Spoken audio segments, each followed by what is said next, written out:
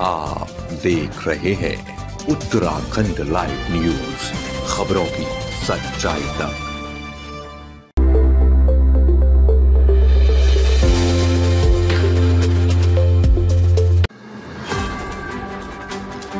देश भर में तिरंगा यात्रा निकाली जा रही। वहीं आशा रोड़ी रेंज के अंतर्गत अलग अलग क्षेत्र में भी तिरंगा रैली निकाली गई, जिसमें बड़े व बच्चे, जवान सभी ने इस रैली में भाग लेकर देशभक्ति का प्रेम बढ़ाया।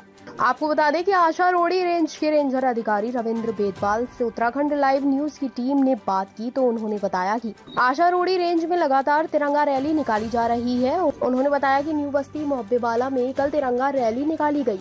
और आज गाँव Ummedpur junior high school Devipur में तिरंगा रैली निकाली गई, जिसमें सुनील भट्ट, वन दरोगा लक्ष्मी प्रसाद, बीट अधिकारी, सोनू, स्वयंवर, अजय सूरज उप प्रधान मधुसूदन, प्रधानाचार्य, अध्यापक व छात्र छात्राएँ उपस्थित रहे और रैली में काफ़ी उत्साह दिखा देश के प्रति। देहरादून से अंजलि पासवान की रिपोर्ट। रेंज के अंतर्गत अठहत्तरवें स्वतंत्रता दिवस के उपलक्ष्य में तिरंगा यात्रा का आयोजन किया जा रहा है।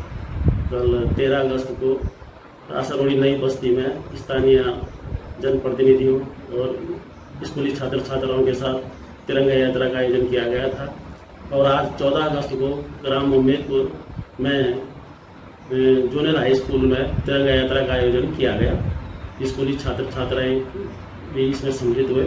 निवासियों, स्कूली छात्र छात्राओं और ग्रामीणों द्वारा इसमें बढ़ चढ़ कर हिस्सा लिया गया। बड़े उत्साहपूर्वक ये यात्रा का आयोजन किया गया। सभी लोग बढ़ चढ़ कर इसमें हिस्सा लिया